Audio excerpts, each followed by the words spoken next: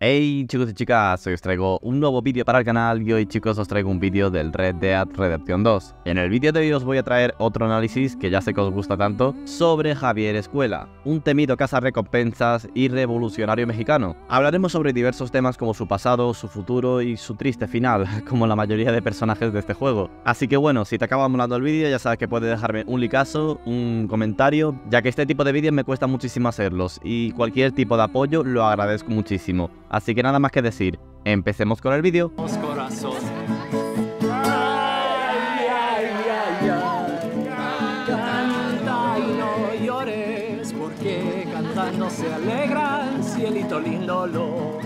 Para iniciar la historia de este personaje nos iremos en el año de 1873, en Nuevo Paraíso. Primero vamos a hablar un poco sobre la infancia de Javier. Su padre era un alcohólico que trabajaba en las tierras de su tío. Este, cuando era solo un niño, fue testigo de una atrocidad. Su tío y otros cuatro hombres fueron castrados y dados de comer a los cerdos. Esto fue porque se atrevieron a pedir un salario justo para todos los aldeanos. Y esto lo sabemos porque nos lo cuenta el propio Javier en el mismo campamento. They accused five men of spreading rebellion and heresy. They took them into the streets, stripped them naked, castrated them, and fed them to the pigs while the rest of the village was forced to watch.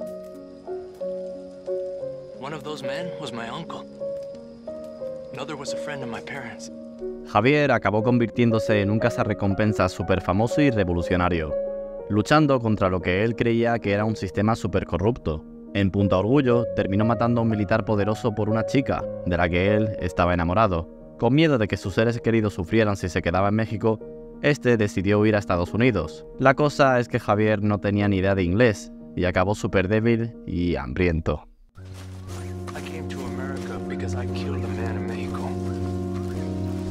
Powerful man. I knew if I stayed, everyone I loved would die. I ran, not for my life, but for theirs. Ahora nos iremos a 1895. Mientras intentaba robar Javier unos pollos, este se topó con Dutch, haciendo exactamente lo mismo. Los dos se rieron por la situación, y Dutch terminó dándole comida y ropa a Javier, además de ofrecerle un lugar en su banda. Javier se sintió inmediatamente conectado con la banda y sus ideales, así que vio, por así decirlo, una nueva familia y un verdadero hogar, ya que este admiraba mucho a Dutch por sus ideas revolucionarias, convirtiéndose así súper leal a él. I Dutch. I was stealing chickens and he uh, I met him doing the same. and we laughed. He took me in. And he fed me. And he clothed me. And I met all of you. I don't believe I shall ever go back home now. For this. This is my home now. You. You are all my home now.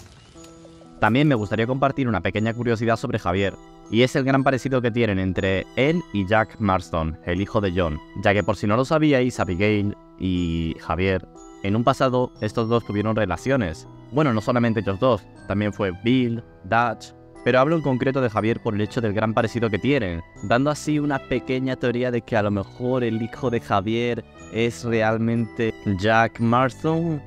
De todos modos, esto se quedaría en una teoría, así que como queráis, si queréis debatirlo en los comentarios, ahí os lo dejo. Seguimos hablando sobre Javier. Javier siempre fue muy lameculos de Dutch, por así decirlo, ya que siempre, aunque todo lo que hiciera Dutch estuviera mal, como que siempre estaba de su lado. Puedo poneros un ejemplo muy muy al principio del juego, y es sobre la masacre que hubo en Blackwater. Para la gente que no sepa lo que es, era un barco que transportaba un montón de dinero que la banda intentó robarlo.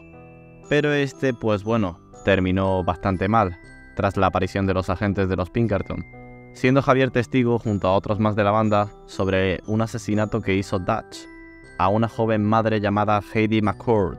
Este asesinato no le gustó para nada a varios miembros de la banda, e incluso pensaron que ya Dutch había perdido la cabeza desde lo que pasó en Blackwater. Pero lo que iba es que Javier apoyaba el hecho de lo que había hecho Dutch, ya que siempre apoyaba lo típico que él decía, a veces tenemos que hacer cosas terribles para sobrevivir. y seguía confiando plenamente en él y permaneciendo unido a él.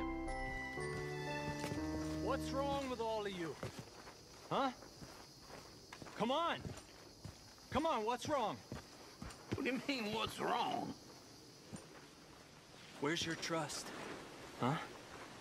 Where, where, where, where's your faith? I got a son, Mr. Escuela. I want him to live. It's by staying together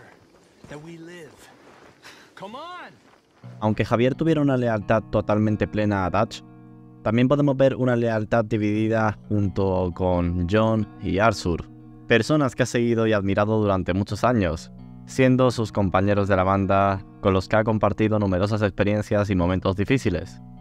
Por eso en esta escena podemos ver, por ejemplo, cómo él es uno de los pocos que no apunta a estos dos. Pero desgraciadamente después de eso, vienen los Pinkerton y cada uno coge un lado, decidiendo Javier después de que pasaran todos los sucesos que ya sabemos, regresar a México para trabajar como sicario para el coronel del ejército Agustín Allende.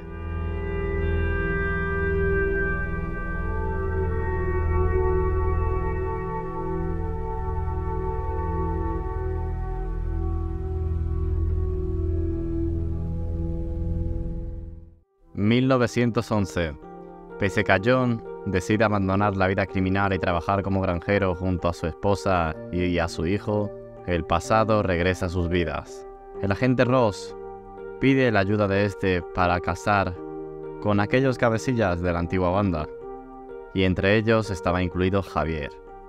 Inicialmente John asalta a Fort Mercer, pero Javier ayuda a Bill a huir a Nuevo Paraíso y lo esconde de su viejo compañero.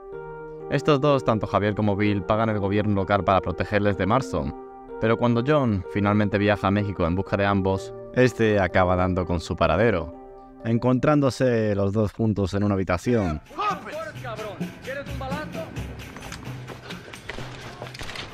Hello, old friend. It's been a long time. Hello, brother. It's uh, good to see you. I heard you was coming. You took your time, no? Come on, you're not gonna shoot your own brother, are you? We was family. Yeah, we were. Then you and Dutch went crazy and family didn't mean so much. so now you do the government's work. And what do you do? You just work for a different government. Come on, brother. I think we should go our separate ways, huh? What you and Dutch did was wrong. And the way you left me was wrong. No, I ain't the judge, but as it turns out, it's you or me. The way I see it, might as well be you. We thought you was dead, brother. I promise. I'm telling the truth. Besides, I can give you Bill. In Dutch. Dutch is in Colombia. I can take you straight to him. Hmm? You left me to die? Whoa. to save your own skin. And now you expect me to care whoa, about whoa, you? You got it all wrong, brother. I've always loved you. Even now. Una vez que le da casa a John, tienes dos opciones, o matarlo por ti mismo o entregarlo.